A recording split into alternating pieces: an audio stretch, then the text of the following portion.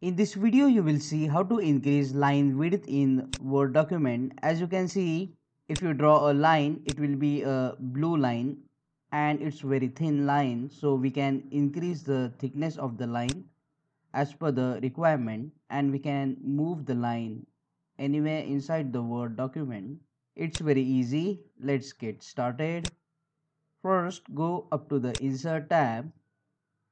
You will see the option shapes click on the drop down and select the line option.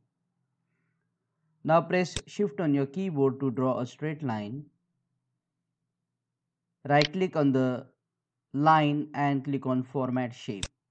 Now under the line change the color of the line to black or any color of your choice. I will select here red color and this is the width.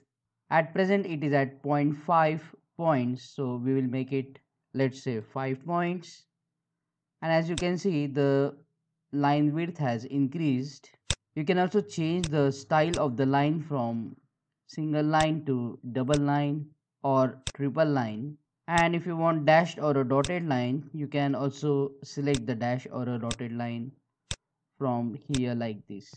There is one more option. Click on the line and under the shape format you will see the option shape outline. You can change the color of the outline from here and this is the weight option.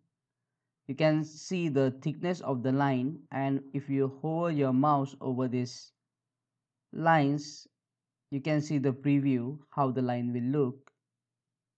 And you can also make the line dash or a dotted like this Click on that like button if this video solve your problem. Subscribe and press the bell icon to support the channel. Thank you.